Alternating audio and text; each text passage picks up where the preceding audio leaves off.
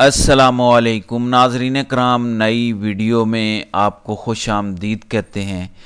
عمران خان کے خلاف ایک اور بڑی واردات ڈالنے کی تیاری ہو چکی ہے۔ اڈیالہ جیل سے خبریں اچھی نہیں آ رہی۔ اس وقت میڈیا کی بڑی تعداد اور صحافی اڈیالہ جیل کے گیٹ کے باہر موجود ہیں، لیکن اڈیالہ جیل کے گیٹ بند کر دیے گئے ہیں۔ آج اڈیالہ جیل میں دو اہم کیسز کی سماعت جاری ہے۔ نمبر ایک ایک سو نوے ملین پاؤنڈ کیس، جس کے اندر آلریڈی قاضی فائز عیسیٰ اپنا فیصلہ سنا چکے ہیں۔ دوسرا ہے، نو مئی کے کیسز کے حوالے سے انسداد دہشت گردی کی خصوصی عدالت نے اڈیالہ جیل میں سماعت کرنی ہے، لیکن اچانک اڈیالہ جیل کے سپریڈنڈنٹ کی جانب سے انسداد دہشت گردی عدالت کو آج خط لکھا گیا ہے کہ آپ اپنی سماعت آج کی ملتوی کر دیں۔ ہم آپ کو سیکیورٹی نہیں دے سکتے کیونکہ آلریڈی جیل کے اندر ایک سو نوے ملین پاؤنڈ کیس کی سماعت جاری ہے۔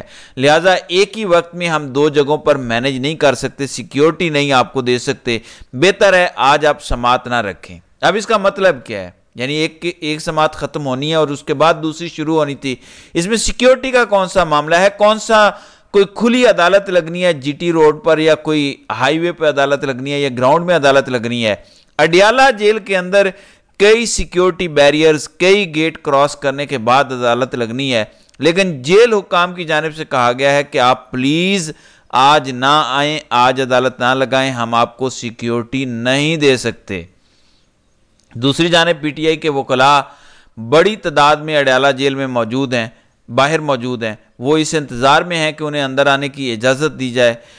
سلمان صفدر، عثمان گل، ظہیر عباس، انتظار حسین پنجوتھا، مشال یوسف زئی فتح اللہ برکی نعیم حیدر پنجوتھا، سردار قدیر، سرمد بیگ، متعدد صحافی بھی ہیں جو انتظار کر رہے ہیں، مگر ان کو اندر نہیں جانے دیا جا رہا۔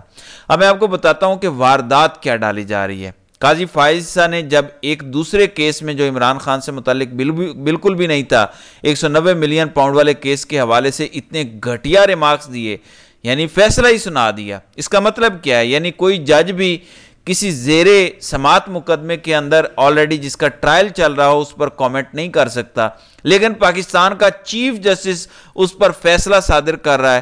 تو اس کے بعد اب پی ٹی آئی کو اس بات کا اندازہ ہو چکا ہے کہ انہوں نے عمران خان کو اس کیس کے اندر بھی سزا سنانی ہے اور عمران خان کو مزید لمبے عرصے کے لیے جیل میں رکھنے کا پلان بن چکا ہے۔ آج سزا سنائی جا سکتی ہے اور تجزیہ نگاروں کے مطابق دس سال تک کی سزا ہو سکتی ہے۔ دوسری طرف فیض حمید اور دیگر سارے معاملات ہیں اور ابھی ایک تھری سٹار جرنیل کی گرفتاری اس کے حوالے سے بھی میں آپ کو بتاتا ہوں۔ وہ چیزیں الگ ہیں، لیکن اس کیس کے اندر بھی اب سزا سنائی جائے گی۔ پھر سزا کلعدم ہوگی، ضمانت ہوگی، تو ایک لمبا پروسیجر ہوگا۔ عمران خان اور بشرا بی بی کو ابھی بھی اگر یہ جیل میں رکھنا چاہتے ہیں، جو کہ قائد صاحب کے ریمارکس کے بعد لگتا بھی ہے کہ شاید ارادہ ہو چکا ہے کہ عمران خان کو اس کیس میں سزا سنوانی ہے۔ تو اب پی ٹی آئی بھاگی بھاگی اسلام آباد ہائی کورٹ پہنچی، جو خبریں میں نے کل آپ کو دی تھی کہ نیب کی ایک میٹنگ ہوئی تھی جس میں اس کیس کو بند کرنے کی سفارش کی گئی تھی کہ اس کیس میں کچھ بھی نہیں ہے، اسے بند کیا جائے۔ اس کے منٹس اس کا ریکارڈ سامنے لایا جائے، یہ درخواست دی گئی اسلام آباد ہائی کورٹ میں۔ اور ساتھ یہ بھی کہا گیا کہ ایک سو نوے ملین والا جو کیس ہے، اس کے اندر شواہد اور ڈاکومنٹس نہیں پرووائڈ کیے جا رہے۔ لہٰذا اس پر سٹے دیا جائے۔ اسلام آباد ہائی کورٹ کے اندر یہ کیس فکس نہیں ہوا۔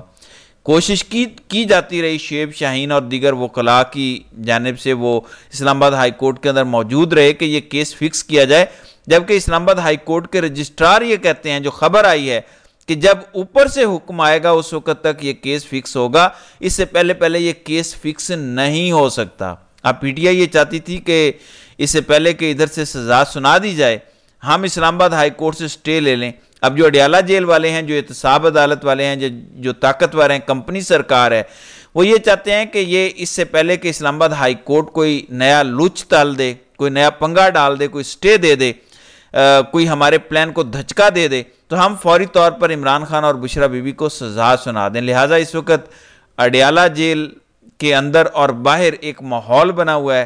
اور جو سیکیورٹی کا ذکر ہو رہا ہے تو اب بڑے سیریس سوالات اٹھنا شروع ہو گئے ہیں کہ کیا عمران خان اور بشرا بی بی کے خلاف کوئی واردات ڈالی جا رہی ہے۔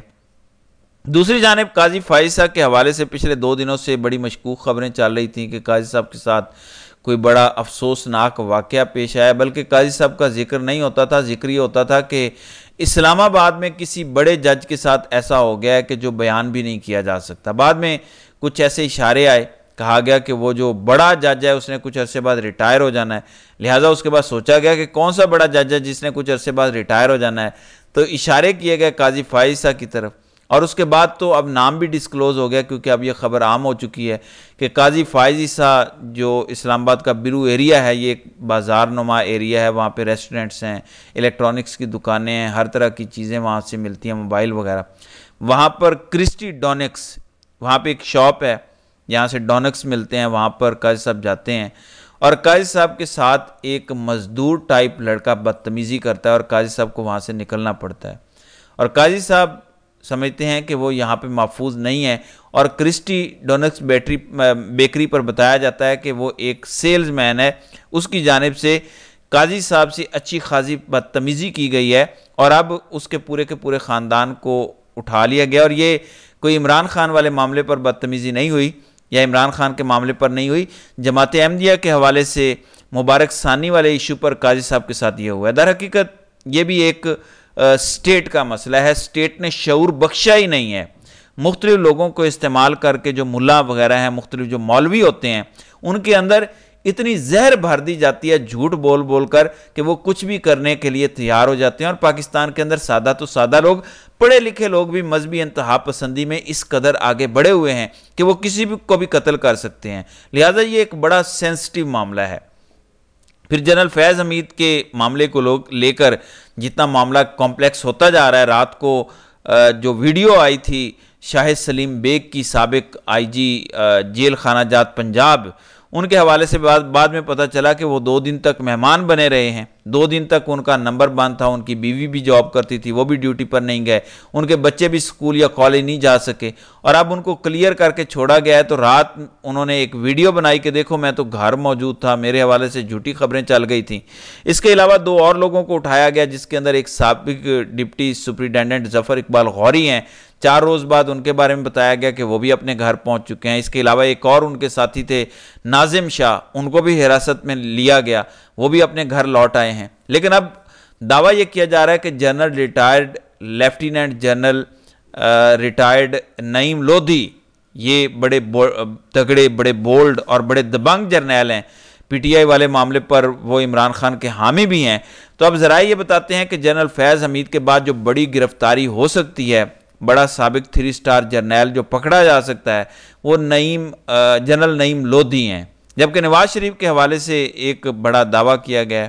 اعزاز سید نے اعزاز سید جو ایک سینئر صحافی ہیں، وہ کہتے ہیں کہ رانا ثناء اور خواجہ سعد رفیق کی جانب سے نواز شریف کو یہ مشورہ دیا گیا ہے اور مشورہ دیا جاتا رہا ہے کہ آپ بس کر دیں۔ آپ الیکشن ہار چکے ہیں، بڑے دل کا مظاہرہ کریں، شکست تسلیم کر لیں۔ سرنڈر کر دیں۔ اگر آپ شکست تسلیم کر لیں گے، آپ سرنڈر کر دیں گے، تو آپ کی بڑی عزت ہوگی۔ جس طرح سے آپ ایک زندہ لاش بنے ہوئے ہیں، ڈاکٹر یاسمین راشد سے آپ ہارے ہوئے ہیں، اور یہ شرمناک گند کا ٹوکرا فتح کی شکل میں جو ایک شکست ہے، اور یہ ایک لاش بن چکی ہے، اور اس تحفظ زدہ لاش کو جو آپ اپنے سر پر اٹھائے پھرتے ہیں، اس کو پھینک دیں۔ اور اپنی شکست تسلیم کر لیں تو آپ فائدے میں رہ جائیں گے۔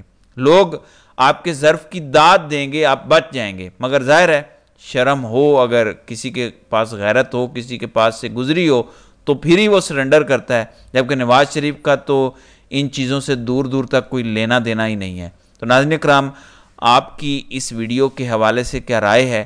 آپ اپنی رائے کا اظہار کامنٹ سیکشن میں ضرور کیجیے گا۔